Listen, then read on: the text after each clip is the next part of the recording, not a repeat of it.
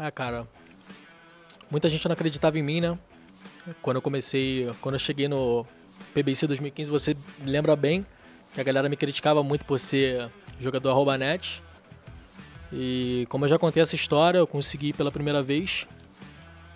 E depois, esse moleque aqui me deu a oportunidade.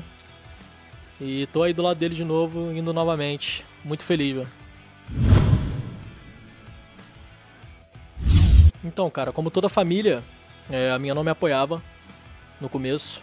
Achavam que era só, como todo mundo fala, é só um jogo. E era difícil, mas depois a minha mãe me apoiou bastante. Minha mãe é divorciada do meu pai, né? Pra quem não sabe, eu moro no Rio de Janeiro e meu pai mora aqui em São Paulo. Então, todos os eventos que tem, ele sempre aparece e sempre tá aqui torcendo pra mim, me apoia, me leva no aeroporto, faz tudo. Meu pai é demais mesmo. Só tenho a agradecer. Cara, eu acho que esse ano a gente vai curtir e ser campeão. Que a gente está muito confiante, nosso time está muito bom e eu acho que dessa vez vai, a gente vai conseguir de novo.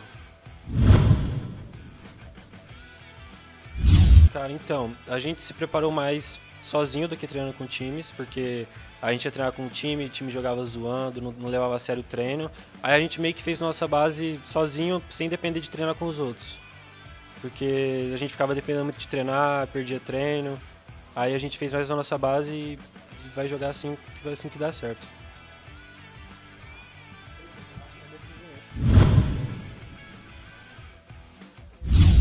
É, então, eu tô muito feliz, você já disse, eu não tô conseguindo falar muito bem, mas vai ser o seguinte, tipo, nas outras vezes já cheguei em casa muito triste, com a cabeça baixa, para os meus pais, eles viram isso, falaram para mim nunca desistir, que a minha hora estava para chegar. Alguns amigos falaram isso e eu acreditei na minha família, meus amigos e principalmente no meu time, que me deram a oportunidade de estar treinando com eles aí. A gente veio de uma derrota aí, muita gente desacreditou do nosso time. A gente treinou muito e a gente veio para ser campeão. É isso, estou muito feliz. Ah, eu acho que a minha mãe, que me apoiou muito desde que eu comecei a jogar, mesmo tipo não tendo muitas vitórias, algumas, não muitas, mas ela sempre me apoiou na derrota e na vitória. E é isso, tudo que eu tenho é graças a ela, que me apoiou quando quase ninguém queria apoiar. Depositou ali a fé em mim e no que eu gosto de fazer. E tamo aí.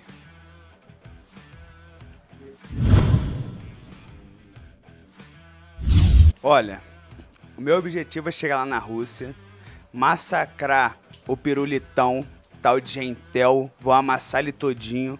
Se vier Tucan, quero revanche, vai voltar de ré e vai continuar na casa dele lá mesmo, que eu vou dominar a Rússia. Moscou, aí vou eu.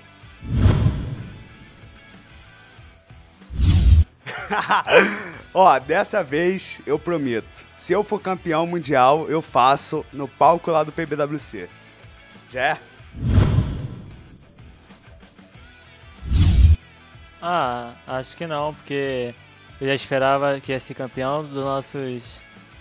Sei lá, a gente conversou bastante sobre isso, porque os outros times tudo treinam zoando, puxa três sniper no meio do treino. Falei, galera, relaxa, deixa eles zoar, que a hora deles está chegando e quando a gente vir, a gente vai chegar amassando todo mundo, filho. Sem massagem, vai ser igual no Mundial, sem cuspe, sem nada.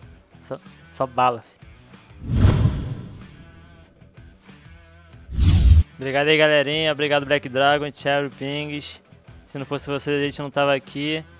Obrigado ao meu time principal, o Coyote, FZN, Pato, Dodres, o John, o Joe, que principalmente, mano, sempre ajuda a gente. A galerinha aí que, que tem um sonho de representar seu, o seu país no PB ou em qualquer outra coisa, esporte, qualquer coisa, nunca desista do seu sonho, mano. Só você dedicar bastante que um dia você vai conseguir. Não tem essa de impossível, não. Eu vou provar de novo que a gente vai ser campeão mundial de novo. É isso aí, galera. Nunca desista.